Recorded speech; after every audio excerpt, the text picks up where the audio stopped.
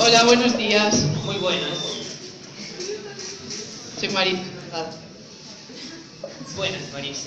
Eh, bueno, ¿quién te ha traído por aquí a, un psicólogo, yo psicoanalista, el mejor de todos? Bueno, el mejor de la época y el primero del mundo. Así que, ¿quién te ha traído por aquí? Que me da dan sofocos. Sofocos. Cuando te refieres a sofocos, Macaloro. va. Eh, ¿Alguna cosa más? Sí, se me paraliza alguna parte del cuerpo en situaciones de estrés. Parálisis muscular y sofoco. Ajá. Entonces tienes histeria. La histeria es un estado físico y psíquico en el cual tú, tú tienes una alteración muy fuerte y no tiene origen orgánico. Es decir, no tiene origen físico, solo es mental. Eh, bueno, cuéntame un poco más sobre ti. Eh, ¿Cuál es la relación con tus padres? Eh, no quiero hablar de eso, no quiero hablar de eso. Cuéntame. Porque no quiero. Me estoy empezando a agobiar. Bueno.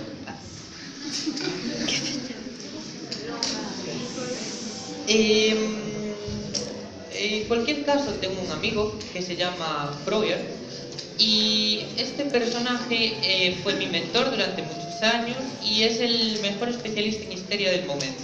Lleva casi toda su vida estudiándola, así que te voy a recomendar que vayas con él y a ver qué sacamos. Pero con histeria, ¿a qué se refiere? ¿A que estoy loca? No, no, no, no. Es un problema físico y psíquico fuerte, pero nada. Vamos, loca. No. Otra parte de mi psicoanálisis es el análisis de los sueños, así que le voy a pedir que usted dibuje ahí eh, los sueños que tiene eh, y en la próxima consulta eh, eh, lo miramos. ¿eh? Bueno, pero si los dibujos están un poco mal hechos, no se queje, que es que a mí dibujar se me da muy mal. Vale, eh, cuando dijo usted parálisis muscular en situaciones de estrés, ¿a qué se refería? Pues, como puede comprobar por mi edad, soy estudiante y los profesores no creo que no se dan cuenta de que los exámenes los hay que poner con más margen, porque ponen tres exámenes en una semana y una semana libre. vale, bueno, eh, muy bien. Eh, le dejo con pro bien. Está bien.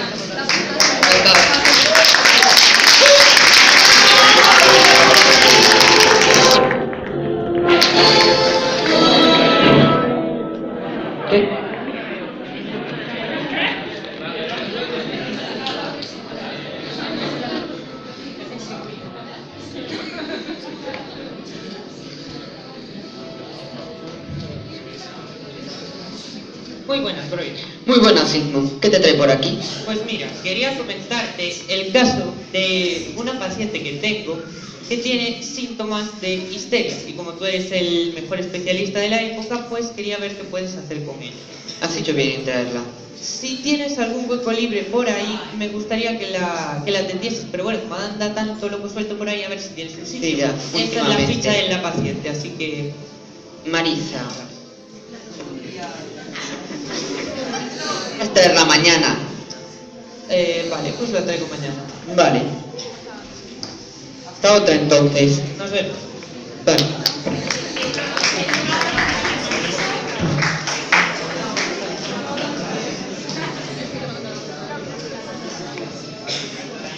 Hola, buenas, soy Marisa, la paciente de... Sí, Sí, ya me habló Sigmund de ti.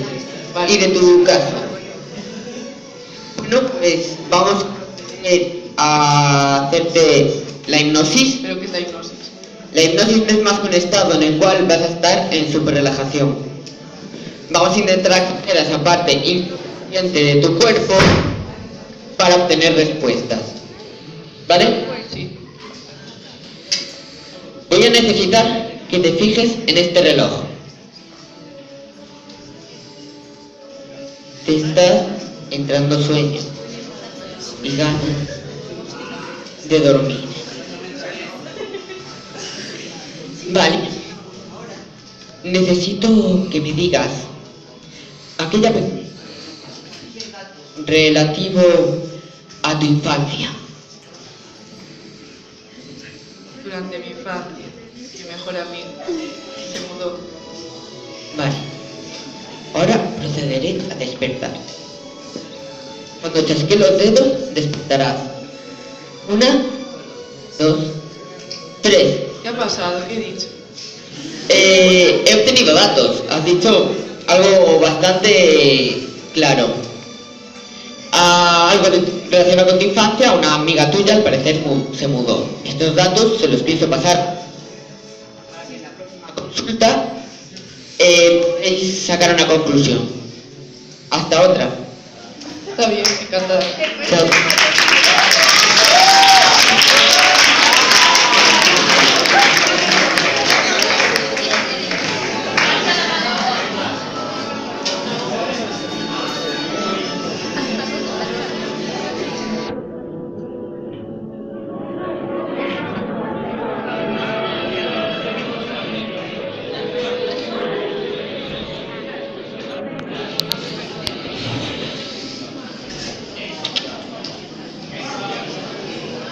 Hola, buenas. Muy buenas. Como recordarás, soy su paciente. Sí, sí. Bueno, como me pidió la última consulta, le hice un dibujo relacionado con mis sueños, el cual se repite constantemente. Un tanto peculiar. Ya le dije que dibujar no era lo mío. Eh, bueno, aquí tengo los datos que me pasó Breuer y eh, echándole un vistazo, pues es interesante. Eh, lo que quiero hacer ahora contigo es otra parte de mi psicoanálisis que le llamo asociación libre. Quiero que me digas lo primero que se te pase por la cabeza sobre ese problema que tuviste. Ya que ahora recordarás algo, ya que la hipnosis te, te hizo recordar unas pocas de cosas. Así que... Bueno, cuando era pequeño, eh, mi mejor amiga, cuando tenía unos 3, 4 años aproximadamente, se tuvo que mudar por motivos de trabajo del padre Ajá. y me dejó solas, porque no tenía más amigos que él. Ah, vale, entonces los padres no estaban contigo en casa. No, ya le mencioné que no quería hablar de eso, que es un tema que no me gusta.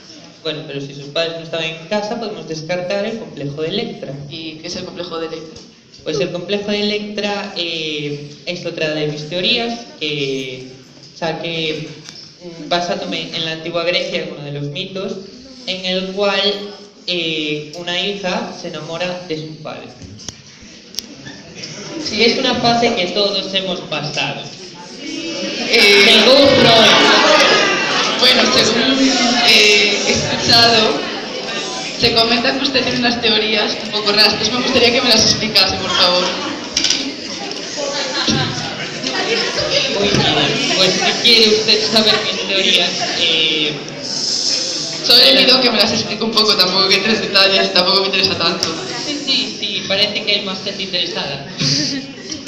Eh, las teorías de la sexualidad de Freud se dividen en cinco fases, en la cual la primera es la oral, que los bebés eh, encuentran el placer chupando cosas.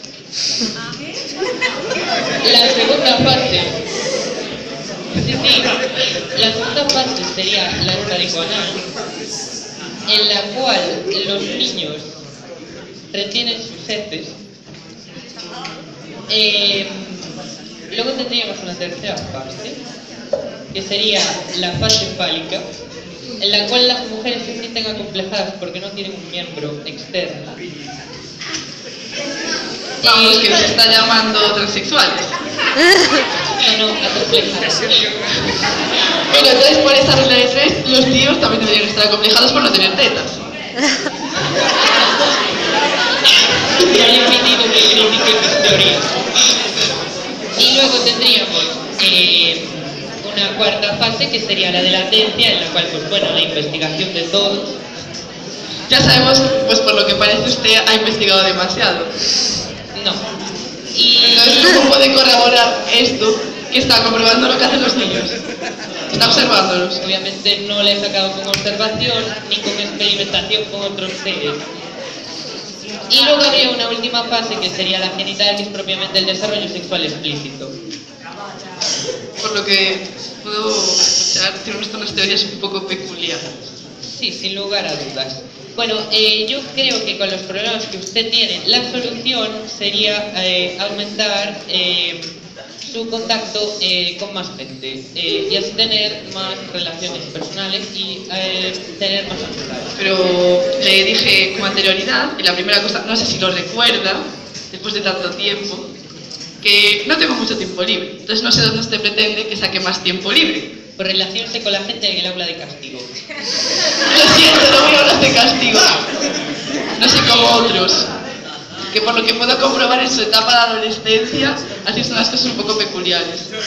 No creo que se dedicase a estudiar mucho, pero si se dedicó a estudiar puede comprobar que los profesores se pasan un poco con los ejercicios y con los exámenes. Eh, muy bien. Yo creo que podemos dar por terminada la Sí, la verdad es que no debéis hacer caso porque tiene unas teorías un poco curiosas. with the